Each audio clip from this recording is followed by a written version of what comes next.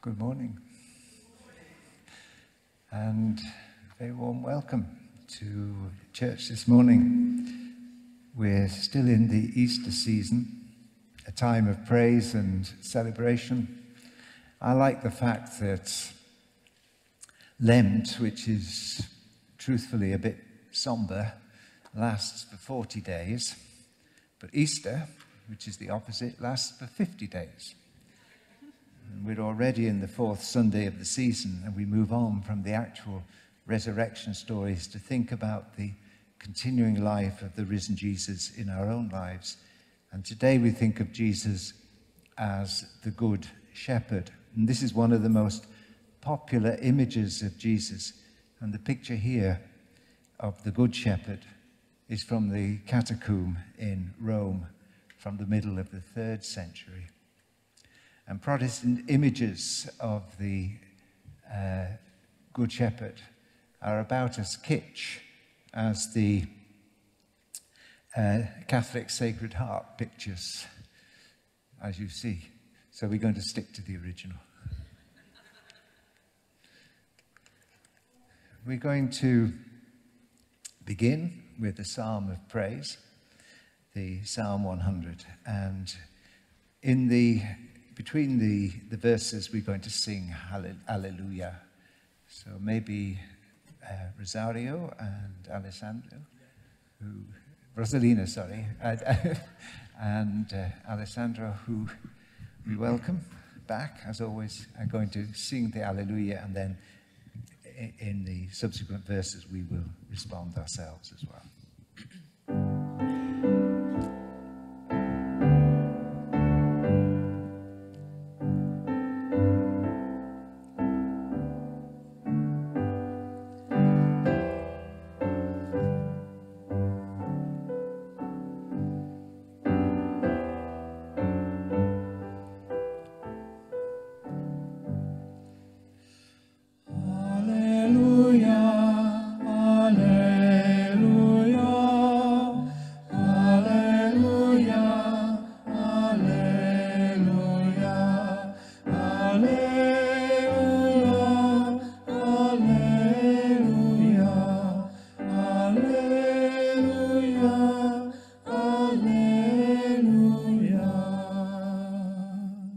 A joyful noise to the Lord, all the earth. Worship the Lord with gladness.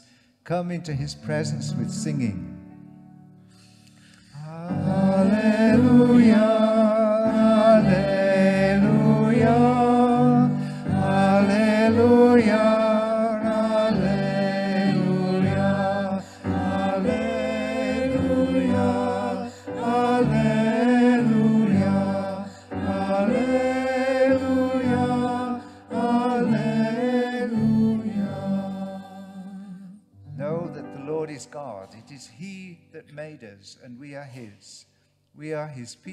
The sheep of his pasture.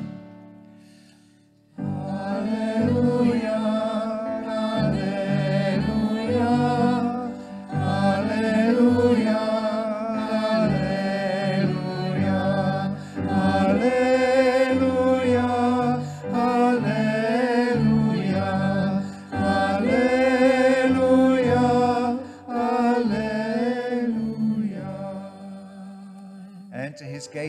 thanksgiving and his courts with praise.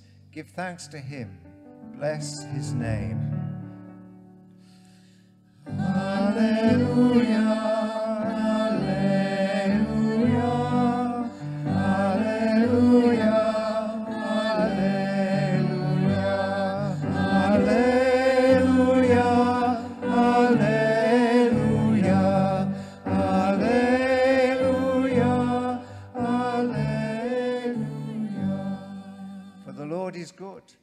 Steadfast love endures forever, and his faithfulness to all generations. Hallelujah.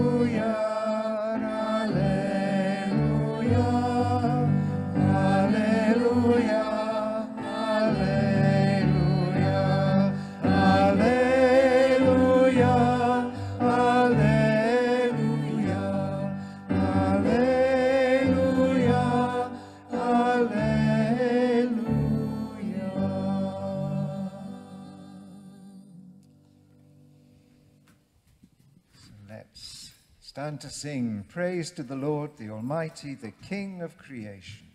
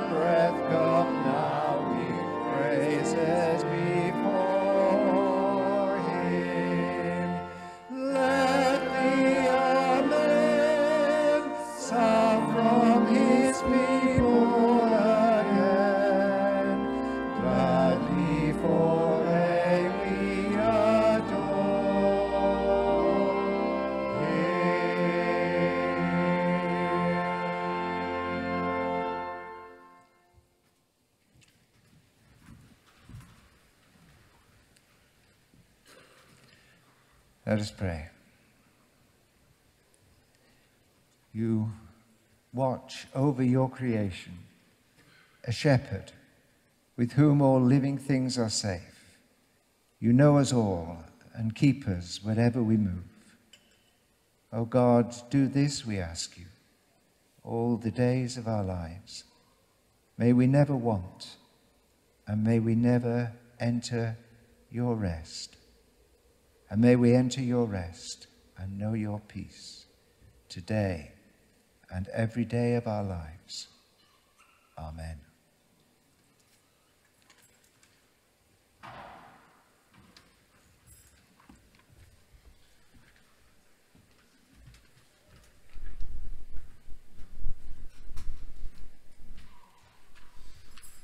Morning. The first reading is from the Gospel 1 John, chapter 3, verses 16 to 24.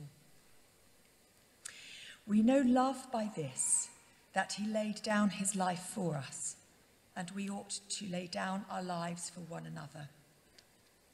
How does God's love abide in anyone who has the world's goods and sees a brother or sister in need and yet refuses help. That's quite a biggie, actually. Little children, let us love, not in word or speech, but in truth and action. And by this we will know that we are from the truth and will reassure our hearts before Him whenever our hearts condemn us. For God is greater than our hearts and He knows everything. Beloved, if our hearts do not condemn us, we have boldness before God, and we receive from Him whatever we ask, because we obey His commandments and do what pleases Him. And this is His commandment that we should believe in the name of His Son, Jesus Christ, and love one another, just as He has commanded us. Another biggie. All who obey his commandments abide in him, and he abides in them. And by this we know that he abides in us, by the Spirit that he has given us. Praise be to God.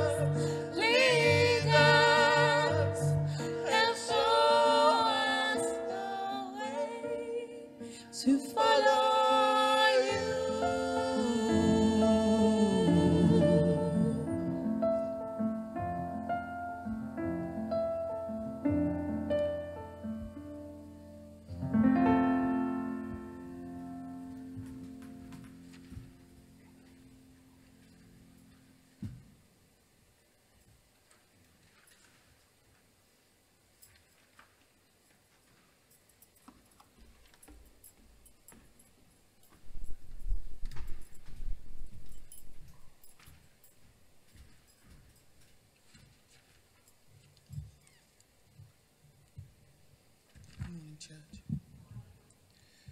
And our second reading is taken from John chapter 10, verse 11 through 18. I am the good shepherd. The good shepherd lays down his life for the sheep. The hired hand, who is not the shepherd, does not own the sheep, sees the wolf coming and leaves the sheep and runs away. And the wolf snatches them and scatters them. The hired hand runs away because a hired hand does not care for the sheep. I am the good shepherd. I know my own, and my own know me just as the Father knows me, and I know the Father. And I lay down my life for the sheep. I have no other sheep that do not belong to this fold. I must bring them also, and they will listen to my voice. So there will be no one flock, one shepherd. For this reason, the Father loves me, because I lay down my life in order to take it up again. No one takes it from me, but I lay it down of my own accord. I have power to lay it down, and I have power to take it up again. I have received this command from my Father. Blessings. Amen.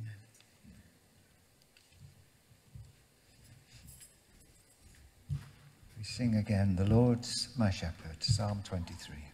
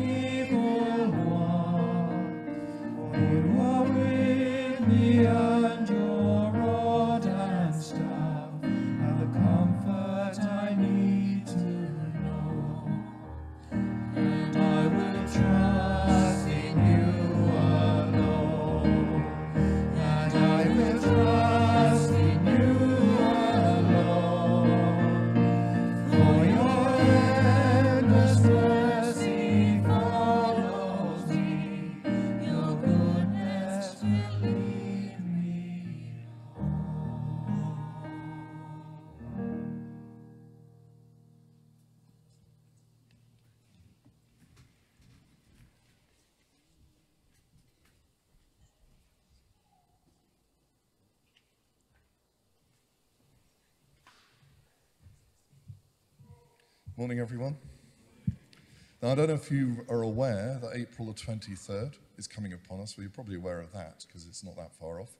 Um, but I don't know if you're aware that that's uh, our patron saint's day, St. George's Day. Some people's patron saint. Most people's patron saint. it's a miserable style. um, and it's, of course, also Shakespeare's birthday, but, um, and also the anniversary of his death, which is always a little strange. But this, what I'm going to talk about this morning, really has nothing to do with Shakespeare, I'm afraid. Just before I tell you this story of St. George, which I found recently and I quite like because I think the symbolism it speaks to us in our modern times really quite powerfully, there are some things I should explain to you that are within the story, that are part of the symbolism of the story. But one of the things I love about St. George is, of course, originally he was from Turkey um, and he then became a Roman soldier and somehow he finds his way into rural England in this story. Quite how that happens, nobody knows, but it happens. So I love all those connections. But within the story, there are some symbols. There's obviously a dragon. Now, dragons in um, rural England um, in the past, and in fact, some places still today, have a mixed symbolism. They both represent the dark ravages of winter and all that that's done to the land but they also represent um, the kind of rush of water that you get in springtime. When the weather was colder and we had meltwater coming down from the hills and the mountains, rivers and um, streams would suddenly become full of water and these become these gushing torrents. And they're referred to even today, I think in Derbyshire you'll find in some parts, they're referred to as dragons. And it's a name that is, is also given to streams that appear because the underground reservoirs have filled up with the water from winter. So I don't know how climate change is going to affect all of that, but um, we are seeing more Bournes. Those are the, um, the rivers that come from the underground reservoirs. We're seeing those appear more these days because we have so much rain. Um, certainly we had it this year, didn't we? Um, so that's one symbolism to bear in mind. Um, the other is, of course, the colour blue, which is important in this story. And you may be aware that blue in medieval paintings is usually used to represent the Virgin Mary. It's the colour of purity. But of course, it's also the color of, of open skies, of sunny skies, and of pure, clean water. Okay, I think that's all you need to know. Let me tell you the story. So there was once a little village that nestled at the foot of a hill. It was in the main a peaceful village, except for one thing. Beyond the hill lived a dragon. And when winter was over and spring was coming, the dragon would wake up and it would be hungry. And it would demand food from the villagers. That was its only source of food.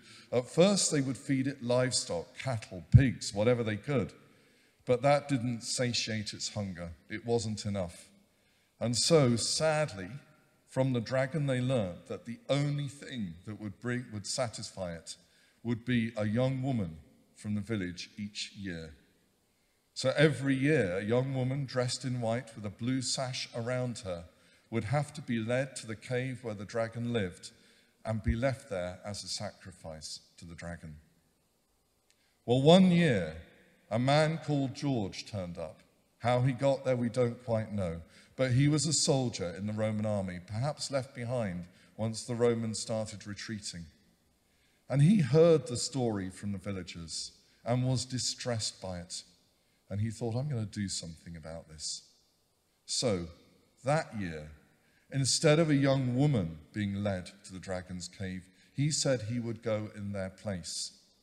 And he went to the spring on the edge of the village, which was a holy spring, splashed himself in its water, and prayed, and put a blue sash on him. But before he left, he made sure to fill his flask with some of the water from that spring.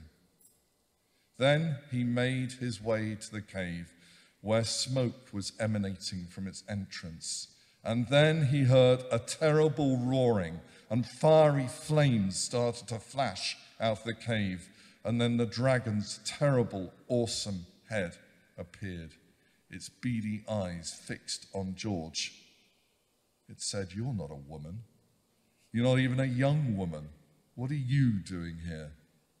George laughed opened his flask just as the dragon was about to open his mouth and unleash a horrible flame. and threw the holy water all over the dragon's head. Of course, immediately extinguishing the flame, but somehow completely changing the dragon's mood. A few hours later, George led the dragon back down to the village. He had put the blue sash around the dragon's neck and was leading it on a lead down into the village. The villagers were terrified, all shrank back into their houses. But George called out and said, Don't worry, the dragon's not going to eat you anymore. We've made peace. And the dragon eventually settled on a grassy plain on the edge of the village. It eventually merged into the landscape and was seen no more. But from then on, every year, a roaring stream would appear where the dragon lay and the villagers would toss in corn dolls with a blue sash around their neck in memory of the sacrifices they'd made.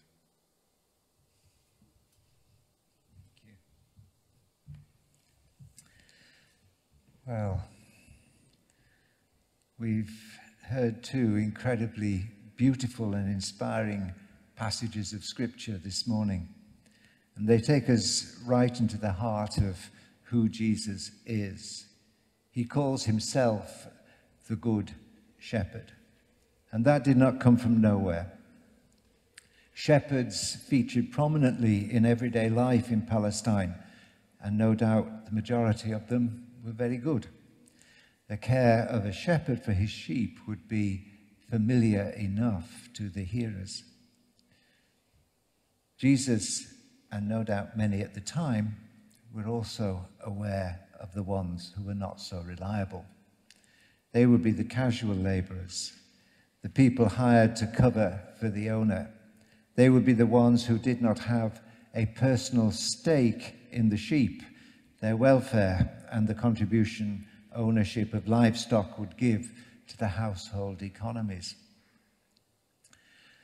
This may be just a personal observation, but I am quite often surprised that people invest time and care in the organizations that they work for on a day by day basis. Obviously, there are exceptions, but generally, you receive a good service in shops, cafes. Staff are friendly, helpful more often than not, and it does show when someone has an investment in the place they work. And perhaps we should appreciate the more there is dignity in work. And it is dehumanizing then for someone who does not feel sufficiently invested in their workplace to care. And Jesus knows that the hired hand is unlikely to care for the sheep, whereas the owner has a deep sense of responsibility for the welfare of the animals and the economic advantages they bring.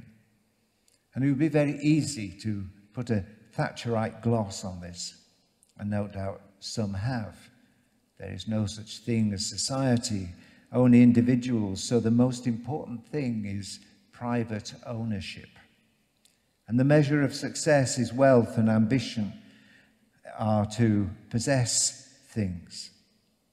Status is derived from the quantity of goods and accumulated wealth. We use the words own and ownership in diverse ways.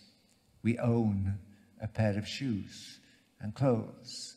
We own personal items, including ornaments, books, photographs, utensils, souvenirs, and all sorts of items. Some are lucky to own their own house. But even if you don't own where you live, you may still call it my home. It's a personal space where you belong, can rest, and which creates and contains memories. And some of our possessions are very personal passports, birth certificates, marriage certificates. They record our identity. They sort of say who we are, but only in a very formal sense. And we may use possessive pronouns in other ways. My partner, my parents, my children, my country, my cat. Ownership then transcends possession into belonging, into relationships. And we resist relationships which are over possessive and seek in our relationships to build and create mutuality. And we live in a society with a very distorted sense of values. Those who do own their own home are very privileged. Those who own more than one home are especially privileged. And if you also own a yacht and a private jet, then you are extra especially advantaged. Indeed, it's a feature of our times that there are some people whose level of ownership has become completely out of hand. Wealth has gone beyond being a comfortable cushion against adversity. Nothing particularly wrong with that, to an obscenity of overindulgence. And perhaps the greatest of the obscenities is the capitalist treatment of what ought to be common possessions. Think of natural minerals, air, water, and a habitable earth. They belong to us all, but countries and corporations have placed a flag in the ground where they had no right to make a claim. And it's extraordinary that negotiations are taking place to determine ownership of space. That's really happening. Possession cannot be purely individual. And in observing the lack of care and irresponsibility of the hired hands, Jesus is not advocating the sort of individualism of our contemporary age or the amassing of wealth characteristic of the global elite. He is, however, talking of his own relationship with his disciples and his beloved community of believers. It's an intense relationship, rooted in the deepest love. His life was a deep expression of intimacy, friendship, compassion, caring, fondness. He rooted this relationship in his willingness to surrender all for the sake of the fellowship of those he called into discipleship. His individual identity was not the most important thing to him. The community he was forming required a willingness to sacrifice, to give up, to surrender, to lose, that others might gain. And Jesus is our Savior because he demonstrated in his very being that he loved humanity. And his love was not possessive at all. His is a circular relationship. He loves because God loves him, his humanity. He loves us because God, his Father, is love. And we can then abide in him because Christ abides in God. In John's writing, we encounter that beautiful word, abide. If the ultimate aspiration of humanity is to be with God, then we achieve it simply by abiding in Christ. And it's worth contemplating this pattern of being. We are in Christ by virtue of belonging to each other in a community of believers. Christ is in us by virtue of his tender shepherding and the intimate care and love he has for his followers. God is in Christ by virtue of the gift of God's grace demonstrated in his presence in humanity. Christ is in God by virtue of the intimacy of his love for God's creation. So we are in God through Christ. These glorious, ever intertwining circles weave rich patterns of goodness and love. There is a film, The Wolf of Wall Street. It's one of a genre of films exposing corruptions and dirty dealings in financial affairs. But the title feels an apt in association with today's reading. Just as the good shepherds of Israel had to contend with wolves, our contemporary world has the same challenges. Yet it is not only the big time mafia types who threaten. The thirst for material possessions, the constant barrage of enticements, the pressures, particularly unfairly on young people, to follow fashion, trends, and accumulate things run counter to the vision of a community rooted in valuing the commons and caring for people. Our individualistic society is all pervasive. We have a culture of taking more than you give, expecting a return on kindness, a dividend on charity. One of the worst meetings I had when I was the CEO of a charity was with someone from the private sector who was offering me free advice. And he tried to show me how to work out how much money we had saved the public purse because of the work that we were doing. We could then argue to government that charity is good for the economy and saves the government purse. He was seriously annoyed, actually, he was very annoyed, when I refused to accept that we should monetize the kindness, hard work, and care of our staff. I much prefer John's epistle, which is much more to the point, although it does concern, contain a, a severe rebuke. How does God's love abide in anyone who has the world's goods and sees a sibling in need and yet refuses help?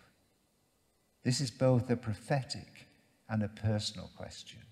Prophetic because it challenges the world to a different order. It stands in opposition to economies built on individual gain and fueled by weaponry of war.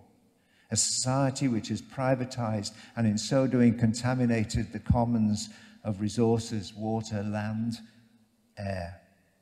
And it's personal because it invites uh, each of us into a new space, a new commonwealth, the commonwealth of God, a place of belonging, renewal, where we can rest ourselves, feel at home, affirm our identity in Christ, whether we have a passport or not. We need our own things to get on with our lives. But when the chips are down, it matters far more that we are owned by Christ than that we own material goods. Owned by the Good Shepherd who laid down his life for his sheep. We belong to each other in a new and unique way because we are all cared for and protected by the Good Shepherd. And the invitation is to know that Christ loves us so deeply that we belong in the embrace of a truly compassionate God. Jesus says he wants one flock and one shepherd because there are others he needs to call into the fold of his care. And I cannot interpret that in any sort of sectarian way. His flock are all who need care and protection. They are those who are marginalized from healthy, functioning societies, who are prey to the wolves of Wall Street and the predators of environmental degradation and militarism.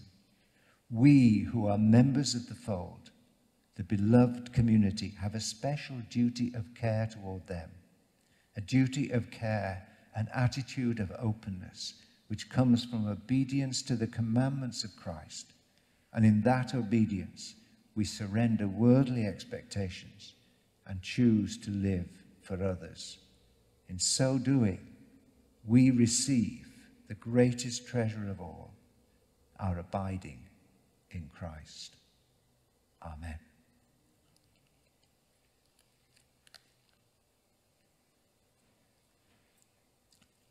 We sing, Let your living water flow.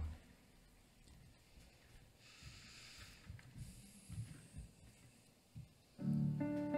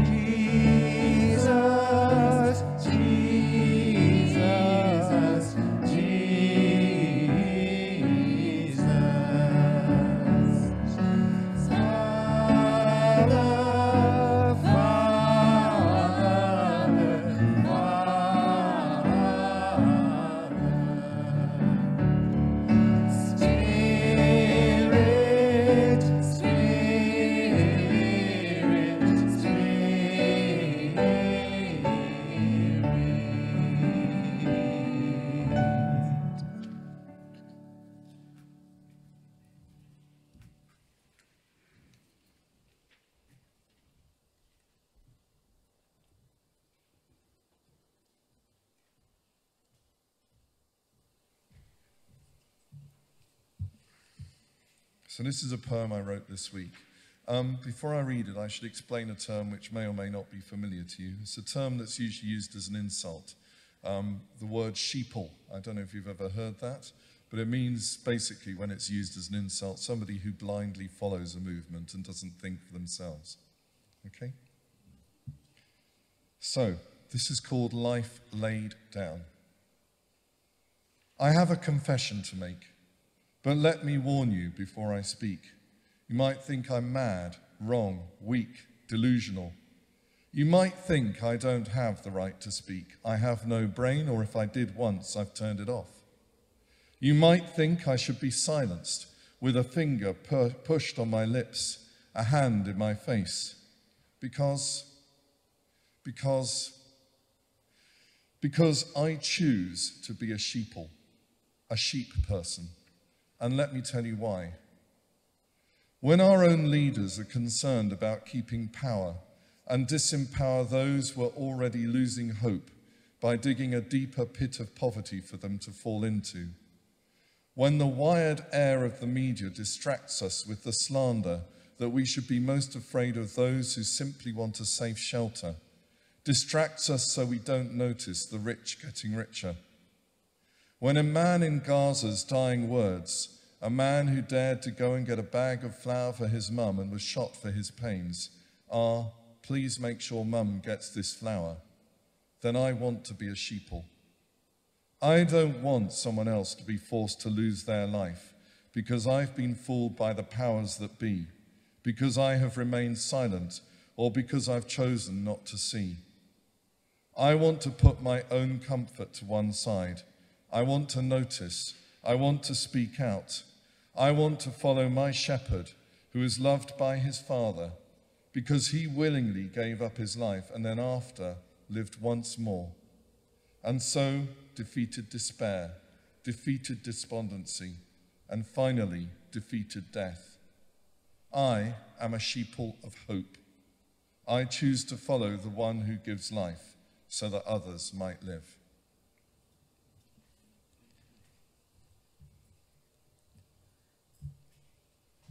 Let us pray.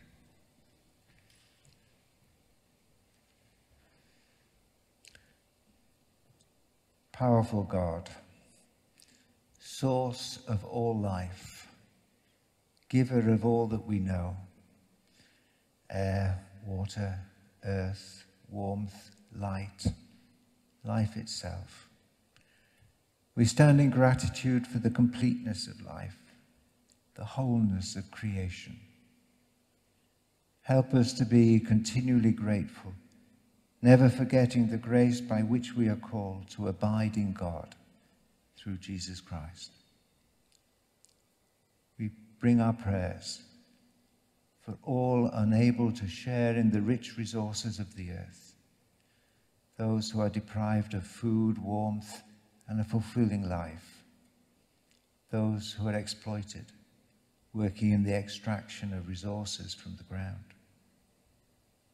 We pray for those who are engaged and employed in caring for others, for those who carry responsibilities for family members for those who work in caring professions, and for those who receive care.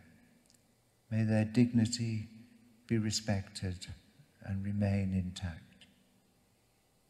We pray for all who create human communities, who bring people together for enjoyment, for sport, music, art, hobbies, and those who do so for mutual support and to mobilize for change. We pray for the church. May she always be a place of belonging, open and responsive to all. May the tremendous treasure of wisdom deposited within her inform and enrich the world. And we pray for the community of nations, so challenged at this time praying that conflicts will be avoided rather than inflamed. Empower us in the way of the gospel. Enable us to be true disciples of the Good Shepherd.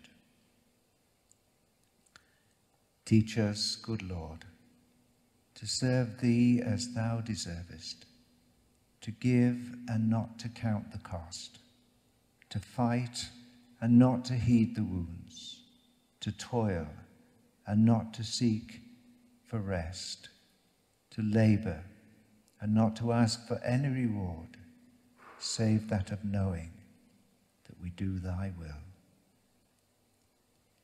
And we pray together, Our Father in heaven, hallowed be your name.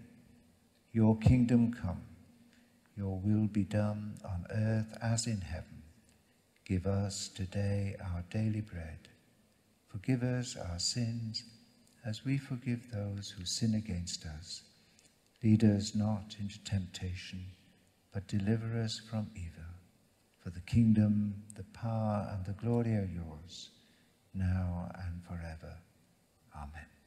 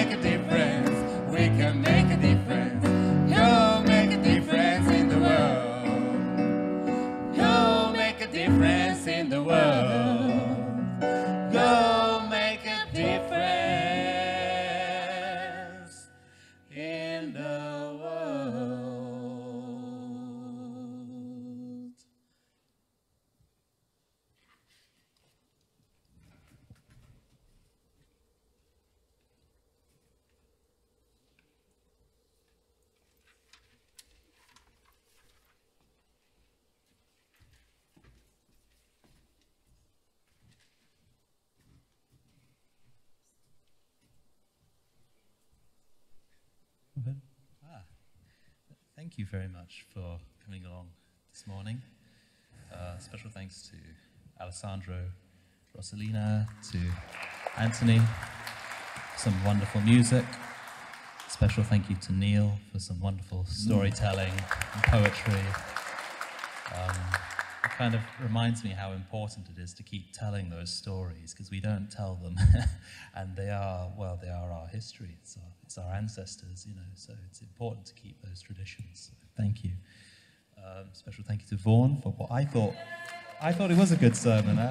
He was complaining to me in the office about it being rubbish, but I thought it was a great sermon. So, um, special thank you to uh, Claudina and Rachel for reading. Yep, yep, it was you two reading. Uh, to Poria and to Constantine for doing the tech, and to Fariad for helping a little as well. um, have I thanked everyone? Yes. I think I have. Okay. Yes, thank you, thank you. No, no, no. Um, no, I'm not not into you know giving myself praise. Praise be to, Amen. Um, so, well, on Tuesday we are continuing our Bible studies in Mark's Gospel, and there's a very particular question that we're looking at. so in, in Mark's gospel, there's a very there's a very unusual moment when when a man escapes the kind of grasp of Roman soldiers, and then he but then but then they get his cloak and he runs away naked. And I guess we're looking at whoever that guy was. Um, so that that's Bible study on Tuesday at 7 p.m. We do them online and in person. Um, so you can come here in person to do them, um, and I will probably be at the gate unless you're here after seven, in which case just ring the buzzer. Uh, or we do it online via Zoom. If you want the Zoom link, just let me know, and I'll add you to our Bible study list. Um, and then we've got a folk sing along with Union Chapel singers. Um, it's going to be fun. There's a singer right there, if I can see her. Hello. There are and three there, singers. hello. we've got a few. We've got a few singers about here. So um, it's Union Chapel Singers, our community choir. They do lots of events like this where they try to bring the community together and bring our voices together and express and feel good. So head along to that. Uh, on Wednesday the first, this is this is one that um, Juan was really the main organizer of. Uh, this is it's Amazonian Dreams, so it's kind of puppetry. It's already sold out, but you can come along. Just uh, I'll, squeeze you in somewhere. Um, but it's it's already sold out. But it's kind of it's meant to be quite surrealist, but it's puppetry, dance, and music. Uh, from Latin, it says you're from Latin America, but mainly Peru and Bolivia is kind of where the cultural traditions are coming from for this event. So I'd recommend coming along to that. That should be a good event.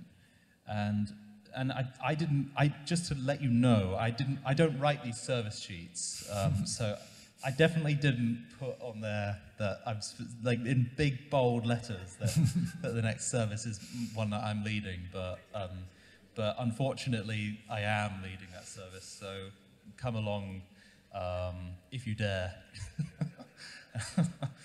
um, and that's about it. Great. We've got some leaflets at the back, uh, some new leaflets, and there's going to be tea and coffee. Thank you. Thank you. Praise the Lord. Ye heavens adore him.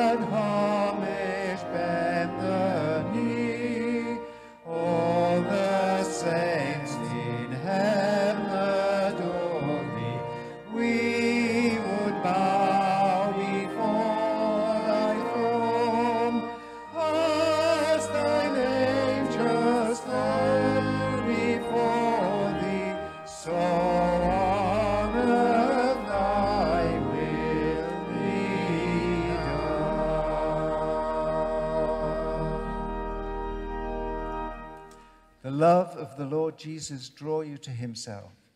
The power of the Lord Jesus strengthen you in his service. The joy of the Lord Jesus fill your hearts. And the blessing of God Almighty, the Father, the Son, and the Holy Spirit be among us and remain with us always. Amen.